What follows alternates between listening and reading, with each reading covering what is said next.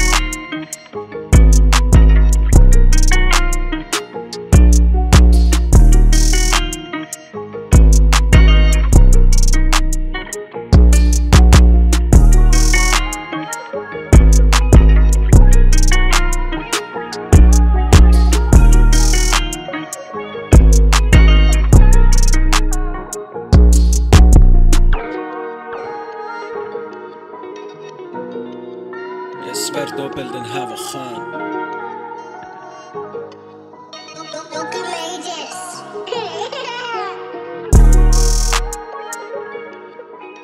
Thank you.